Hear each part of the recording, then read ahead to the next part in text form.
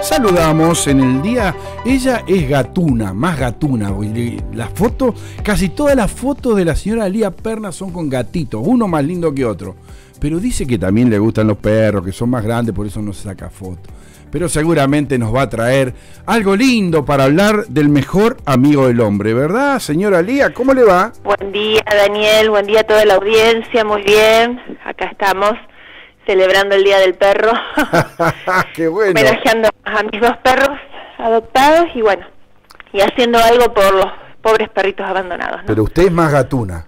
Sí, sí, pero por una cuestión de, de poder transitar gatitos que para mí es más fácil. Pero la verdad que me encantan los perros, me encantan, me encantan. Son hermosos. Sí, sí, sí, mm. sí, sí, sí, sí, la verdad que sí son tan fieles. ¿Por qué serán los mejores amigos del hombre, el perro? ¿Sabe? Sí, yo creo que son incondicionales. Son ah. incondicionales y están ahí siempre, porque la verdad que no piden nada a cambio, más que cariño. Ah, ¿sí? Paseo, juego. Y ah. bueno, su alimentación, por supuesto, ¿no? Pero sí, están siempre ahí. Yo tengo mis dos perros viejitos que, bueno, tengo la puerta que es de vidrio, que da para el patio, y ellos están ahí. ¿Se y nos ven a nosotros con todos los gatos, así que bueno, se me están poniendo pobrecitos recelosos, pero ellos ya ya los aceptan a los gatos. Al se escucha, no, pero ahora sí ya se acostumbraron, no les quedó otra. Se escucha en su casa que no cerró la puerta, escuche. Ah. Y algunos se enojan, escuche.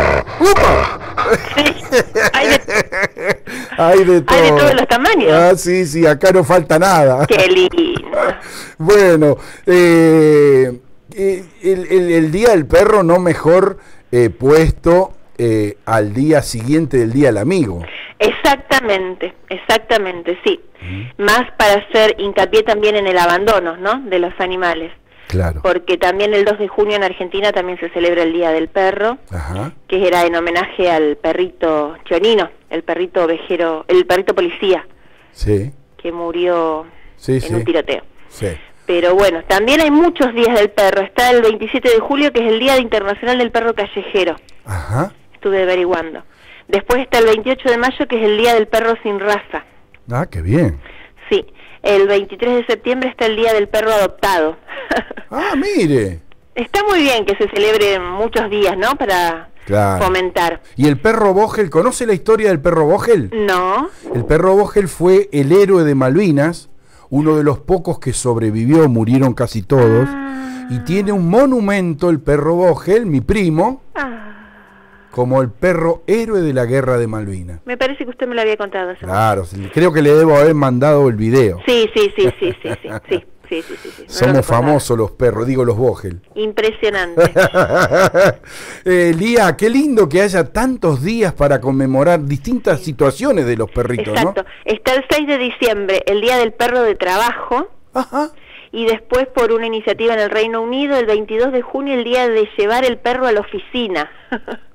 Mirá vos. Desde el año 1996. Yo me voy, a, me voy, a, detener en el perro de trabajo. Seguramente son aquellos eh, hay muchos trabajos que hacen los perros, pero principalmente aquellos que son lazarillos, aquellos que llevan a los ciegos. ¿no? Exactamente, exactamente. ¿Qué trabajo hacen, eh? Y después, sí, impresionante. ¿Qué otros trabajos? Terapias con animales, terapias con perros y terapias hasta con gatos. Ajá. Porque yo tuve a un adoptante que el hermanito necesitaba una terapia con animales y le aconsejaron un gatito mm. mimoso. Ah, sí. Sí. ¿Y los perros qué otros trabajos hacen que, que vos puedas ahora traernos así como para por ejemplo, hay guías, hay perros que trabajan en la nieve. Claro, sí, sí, sí, eso es lo que yo estaba pensando. Hay perros que sacan a las personas, vimos en Miami el otro día, cómo buscaban las personas eh, con vida debajo de los escombros, ¿no? Impresionante. Están los perros que descubren droga. Exacto, exacto. ¿Eh? Exacto. Eh, ¿Qué otros perros conocemos? A ver, que, pero yo los que guían a los ciegos son maravillosos. Sí, sí, sí, sí, es una tarea tan, tan, tan importante. Y está Lassi, está Lassi que es tan bueno. Ay, sí. Está Rintintín, ¿lo vio Rintintín usted alguna No, usted es muy joven.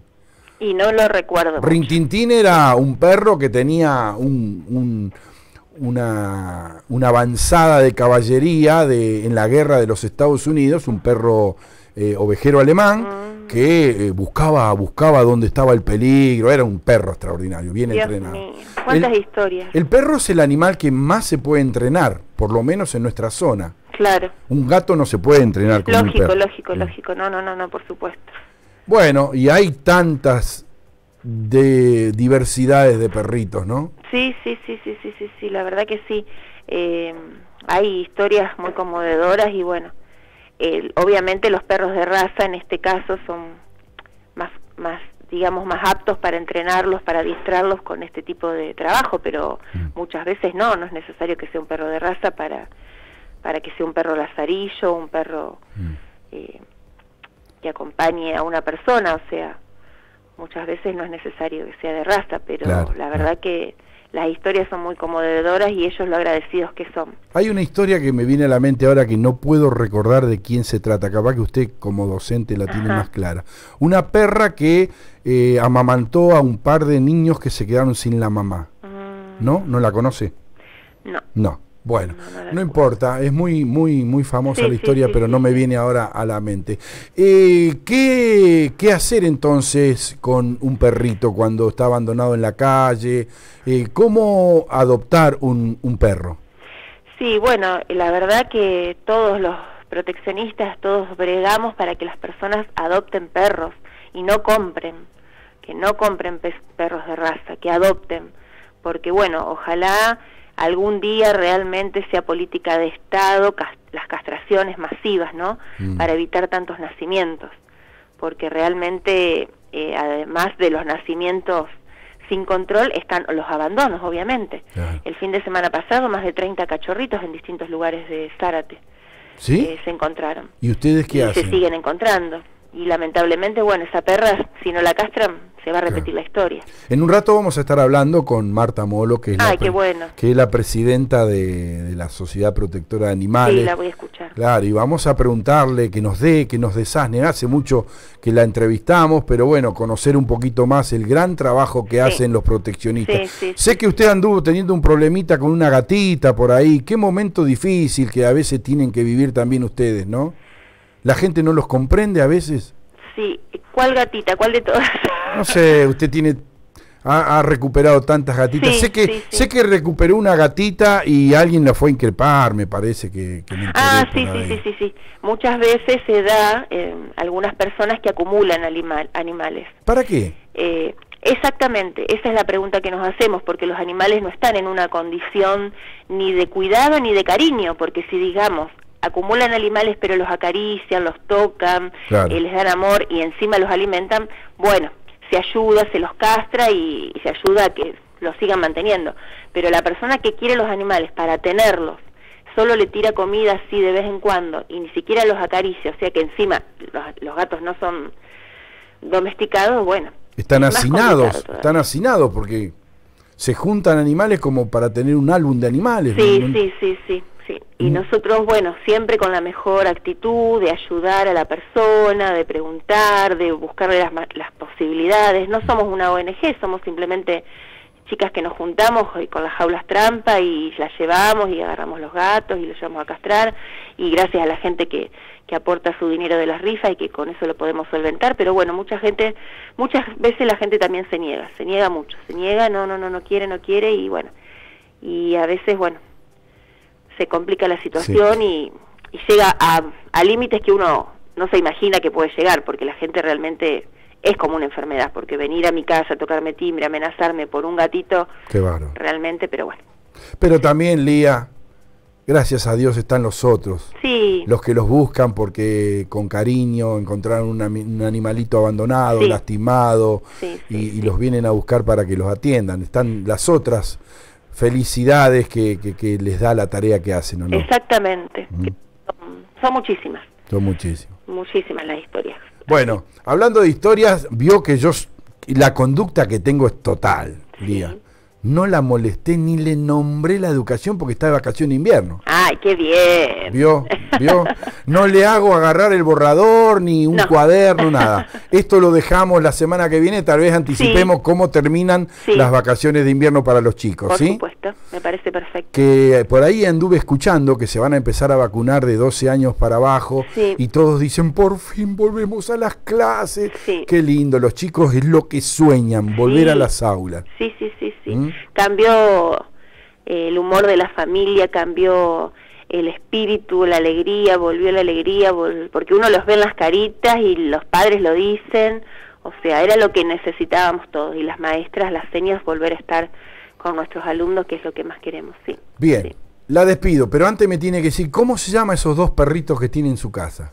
Ah, se llama Doki y Yago. Yago era el perrito de mi mamá que lo fue a buscar a la Sociedad Protectora de Animales, ya tiene 16 años, es chiquito, blanco, y Doki era un perrito que estaba siempre en la plaza, divino, divino, medio galguito, ah. medio cruza, y bueno, lo adoptamos. Lo hicimos entrar varias veces y bueno, se nos escapaba porque estaba muy acostumbrado. Pero muy vago. Vagonetas, vagonetas, ya tiene 12 años. Doki, me acuerdo de mi abuela materna que tenía a Buki. Ah. y mi mejor perro se llamó Joe. Ah. Ah. Un ovejero alemán extraordinario. Mm, y después tuve una coli hermosa, bella, que se llamaba Darling, amor. Qué belleza. Ah.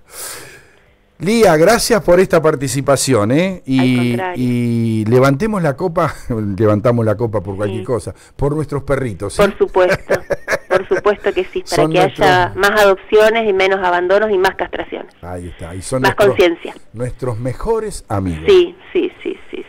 Gracias y será hasta el miércoles que viene. muchas gracias a todos y bueno, la mejor opción para educar a un niño también es adoptar un perrito, un gatito, la responsabilidad de cuidarlos y de, quererlos. Eso es maravilloso. Ya desde chiquitos que tengan ese amor por los animales, muy pero muy importante. Que tenga buen día, gracias. Gracias igualmente para todos. Gracias, Daniel.